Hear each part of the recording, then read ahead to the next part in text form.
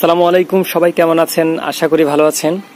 তো বন্ধুরা, আজকে মঙ্গলবার এবং ছয় সেপ্টেম্বর, আজকে সমস্ত বাংলাদেশের মুরগির বাচ্চা, মুরগি, সোনালি, দেশি, ব্রয়লার ও অন্যান্য টাইগার, কালার বার অন্যান্য বাচ্চার দামটি পাইকারি দামটি যে দামে বিক্রি হচ্ছে সেটি আপনাদেরকে আমি জানিয়ে দিব। স্যার, ধৈর্য সহকারে ভিডিওটি শেষ পর্যন্ত দেখানোর অনুরোধ করছি। তবে এতটুকু বলতে পারি অলরেডি কিন্তু বাচ্চার দাম বাড়ছে। অনেক গুণ হারে বাচ্চার দাম বেড়ে গেছে। তো দেখেন, আজকে কিন্তু ব্রয়লার বিক্রি হচ্ছে, কাজী কোম্পানির ব্রয়লার বিক্রি হচ্ছে সাত্রিশ থেকে একচল্লিশ টাকার মধ্যে, নারিশ বিক্রি হচ্ছে সাত্রিশ থেকে চল্লিশ টাকার মধ্যে। নাহারের যে বাচ্চাটা, সেটা বিক্রি হচ্ছে সাত্রিশ থেকে উনচল্লিশ টাকার মধ্যে, আফতাব ইপির যে বাচ্চাটা, সেটা আটত্রিশ থেকে বিয়াল্লিশ টাকার মধ্যে বিক্রি হচ্ছে। এ ওয়ানের বাচ্চা বিক্রি হচ্ছে সাঁত্রিশ থেকে, অর্থাৎ সাত্রিশ থেকে চল্লিশ টাকার মধ্যে। নিউ হোপের যে বাচ্চাটা, সেটা ছত্রিশ থেকে উনচল্লিশ টাকার মধ্যে বিক্রি হচ্ছে।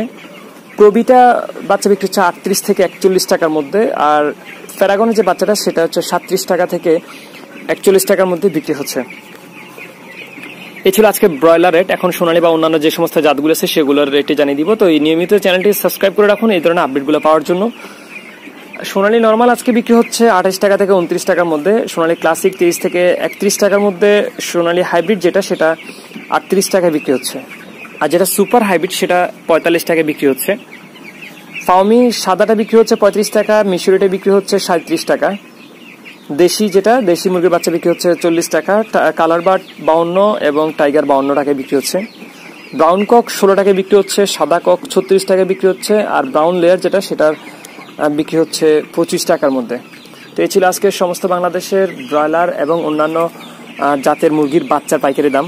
সো সবাই ভালো থাকবেন সুস্থ থাকবেন। আসসালামু আলাইকুম রহমতুল্লাহ।